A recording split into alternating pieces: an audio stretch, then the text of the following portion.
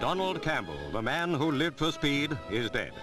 On the cold, still waters of Lake Coniston, 45-year-old Campbell was making an attempt on the world water speed record which he held, but was trying to push up to 300 miles an hour to ensure that it remained British.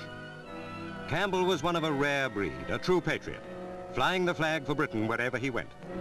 Now his love for speed has cost him his life. During the past few weeks, he was dogged by misfortune.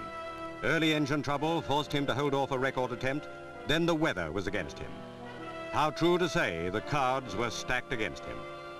One of the last true adventurers left. No one can fail to mourn the loss of this brave man. Pictures of the last tragic moments at Coniston are being rushed to this theatre.